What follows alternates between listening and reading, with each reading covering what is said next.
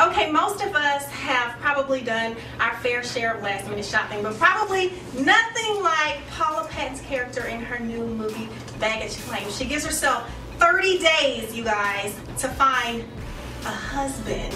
And she's here to tell us why she did it. Hey, Paula. Hi, how are you, love? I'm good. So nice to meet you. So, why does your character, Montana, give herself this almost impossible husband deadline. It, it, you're right. It's, she's at an emotional breaking point in her life when she's found out the man that she thought was her dream man that she was going to marry isn't so dreamy, and then her little sister, played by the beautiful Lauren London, comes in and says, "I'm getting married in a month." Affion Crockett, Lala Anthony, Adam Brody, and Jill Scott. What do you think about friends who like to play matchmaker?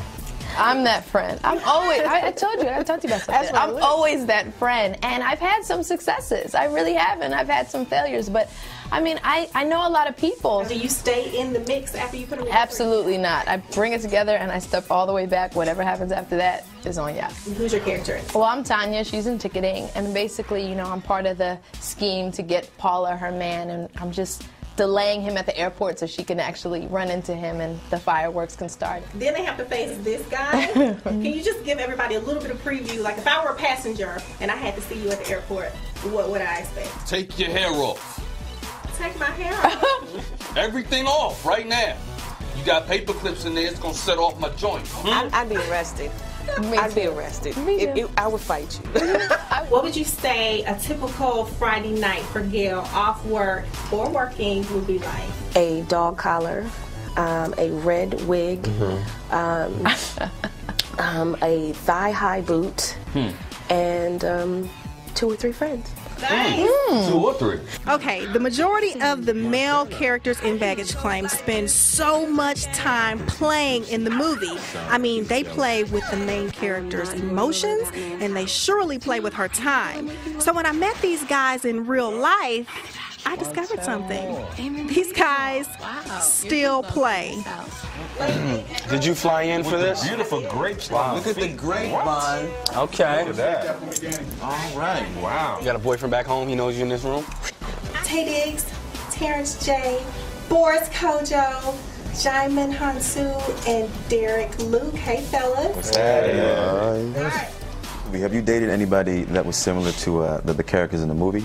Well, I want to ask you: Have you dated oh, anyone mm. like Montana? She just shut me And down. did you treat her with an agenda like your character did? No, no. I mean, hopefully not. No. You would never do that. I would never do never. that.